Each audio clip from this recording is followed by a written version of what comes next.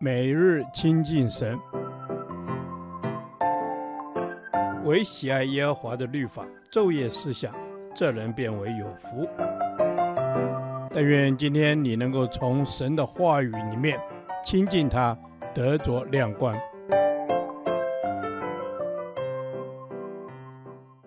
哥林多后书第二十九天，哥林多后书十二章一至十节，赐和恩典。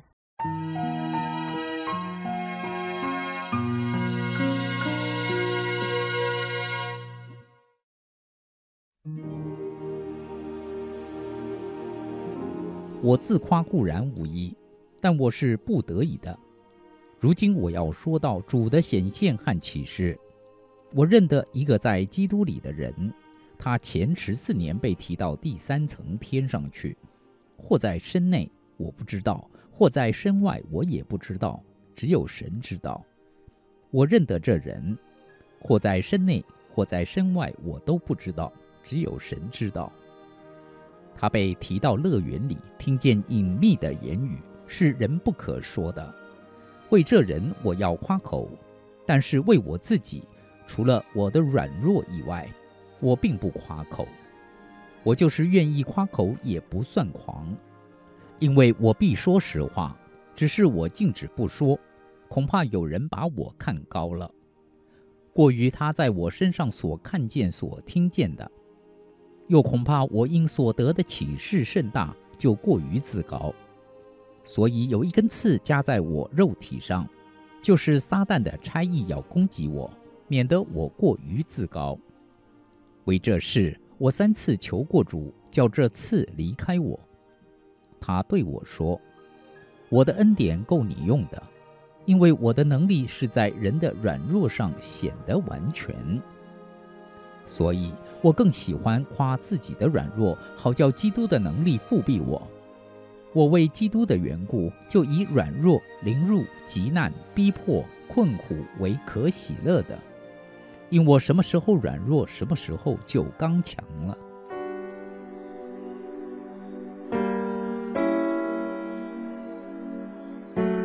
使徒保罗时常有些特别的经历，就像他身上有许多特别的能力。他能医病赶鬼，使死人复活。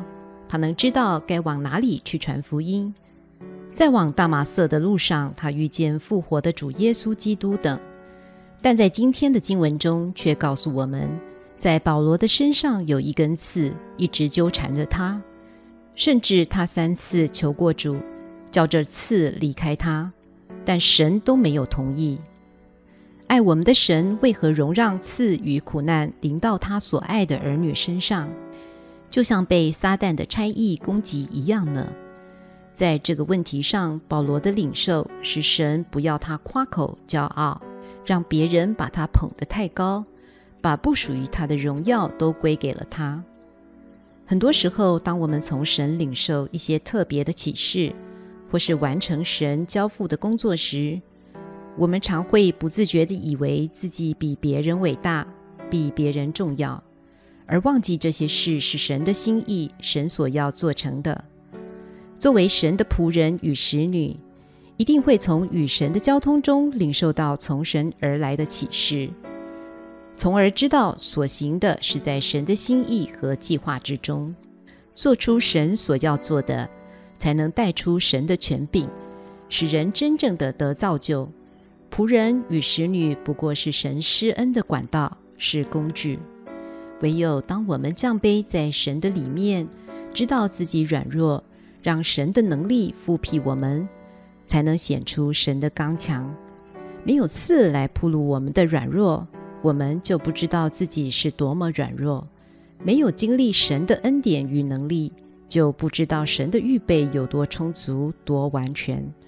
刺与十字架不同。背十字架是人自愿的选择，而刺却是神加在人身上。纵使求神拿去，也不一定蒙应允的。因此，唯有从经历中认识自己的软弱，又从软弱中认识神的能力之中，才能学会不为刺的存在而忧虑，只依赖基督能力的复辟。这才是神加赐在他仆人身上的目的。主啊，当我身处软弱、凌辱、急难、逼迫、困苦时，帮助我更专心的倚靠基督的恩典，让基督的能力复庇我，使我更多经历你的刚强。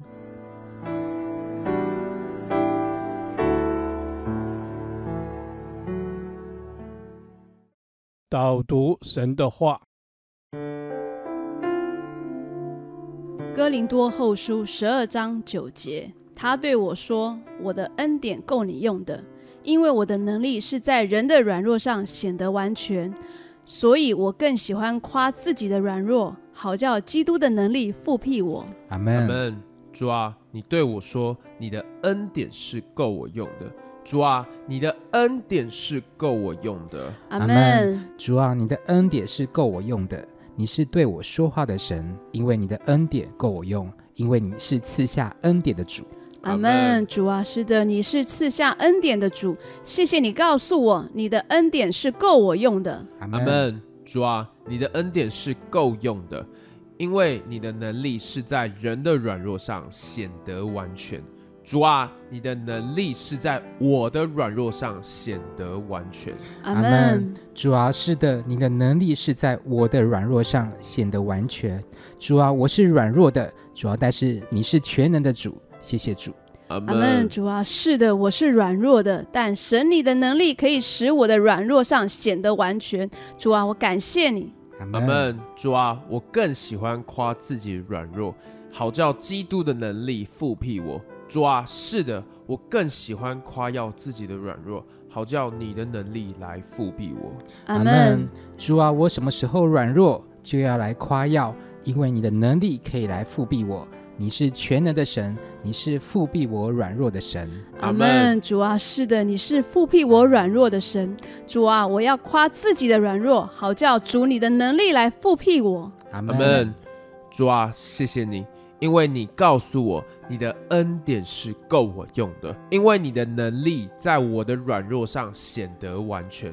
主啊，所以我要夸我的软弱，好叫基督你的能力来复庇我。谢谢主，祷告奉主耶稣的名求，阿。门。耶和华，你的话安定在天，直到永远。愿神祝福我们。